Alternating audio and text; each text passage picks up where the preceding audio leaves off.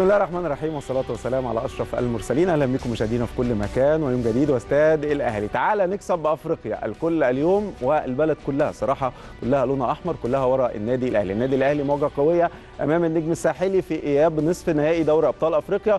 فكركم لقاء الذهاب كان الأهلي متأخر بهدفين مقابل صراحة حلقة جميلة جدا في كل حتة في كل مكان في الشارع وأنت جاي هتلاقي الكل ماشي بأعلام النادي الأهلي. الكل عنده أمل عنده ابتسامة أمل في أن النادي الأهلي قادر إن شاء الله النهارده إن هو يحقق الفوز ويتأهل للدور النهائي في دوري أبطال أفريقيا. والتسعة يا أهلي إن شاء الله كل نجوم النادي الأهلي قادرين على إن هم يعملوها اليوم.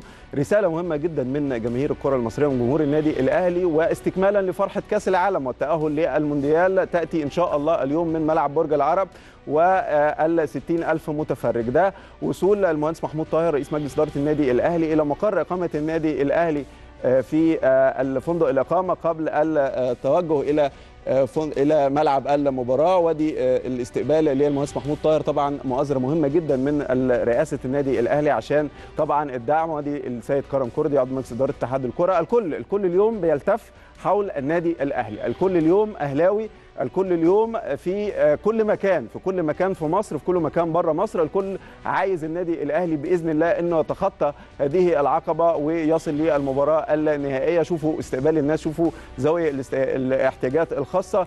حاجة جميلة جدا. النادي الأهلي يا جماعة حينما يصل إلى مكان بي يعني يفتعل الحدث في حدث كبير جدا إنك لما توصل لمكان ويكون في النادي الأهلي. عايز أقول لحضراتكم إن في رسالة مهمة جدا الكابتن حسام البدري الصراحة ابتداها في المؤتمر الصحفي وقراءة الفتح على شهداء الشرطة.